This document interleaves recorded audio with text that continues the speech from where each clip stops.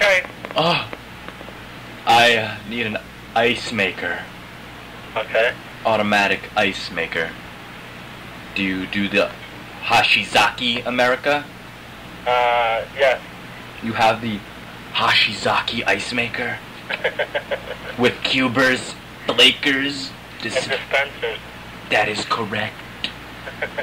I've been dreaming about this moment all my life since I was a little girl back in Africa. Good dream?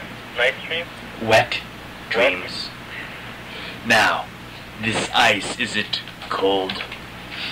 Um, no, it's dry.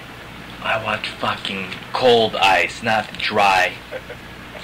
Are you specialists? Uh, yes. How did you become a specialist on ice? I went to the automatic school of ice.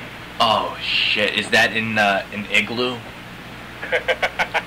Now, because I want to rub it all over my husband's nipples and get them hard, and on his the blue head of his penis. it'll, turn blue. Oh, it will turn purple and it will turn backwards for me.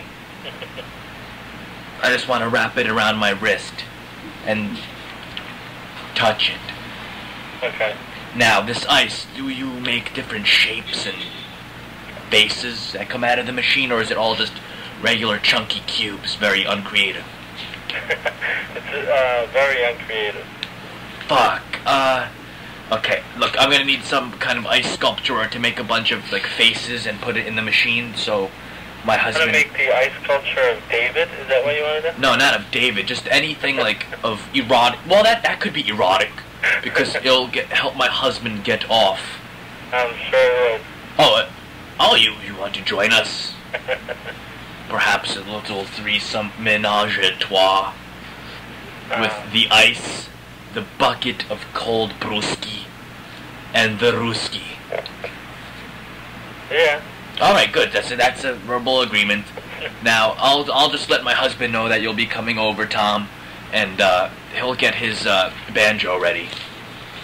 I have to warn you, he only walks around with a belt. Is that it? Yes. Wow. Okay. Okay. All right. I'll, I'll get back to you then. Thanks. Bye bye.